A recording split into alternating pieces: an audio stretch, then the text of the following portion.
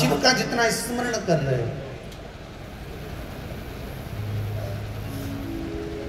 आप शंकर को जितने भाव से रिझा रहे हो, उसका सुख ही दूसरा नारी के लिए वर्णन है महाराज जी, रुद्राक्ष चौदह मुखी रुद्राक्ष का भाव कहा जाता है कि अगर रजोधर्म की अगर कोई बीमारी है, उससे जुड़ी हुई कोई बीमारी है, कहीं गांठ पड़ गई है तो उसके लिए विष्णु महापुराण की कथा कहती है कि जो भी रुद्राक्ष आपके पास में हो, सिद्ध करा हुआ, उस रुद्राक्ष का जो मंत्र एक मुखी से चौदह मुखी तक, रुद्राक्ष आपको देखना पड़ेगा कि आपके हाथ में कौन सा रुद्राक्ष आया। एक मुखी है, चौदह मुखी है, चार मुखी, छह मुखी, पाँच मुखी, जो भी रुद्राक्ष आपके हाथ में आया, उसका मंत्र पढ़कर उसको पानी में गला दीजिए तांबे के कलश में।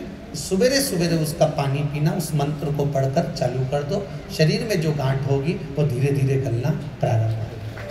गांठ गलना प्रारंभ होगी। और उसका सुख, उसका आनंद।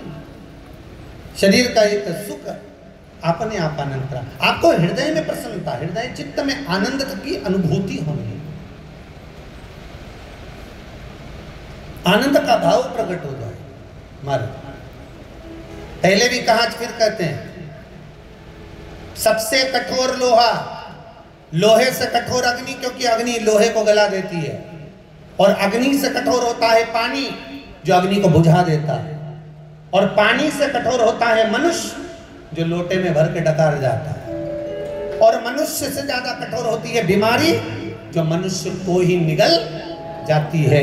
और बीमारी से भी ज़्यादा कठोर होता है मेरा कालों का काल, महाकाल, जो बीमारी को ही निगल जाएगा अकाल मृत्यु हो मरे, जो काम करे चंडाल का, और काल उसका क्या बिगाड़े, जो भक्त हो महा काल का।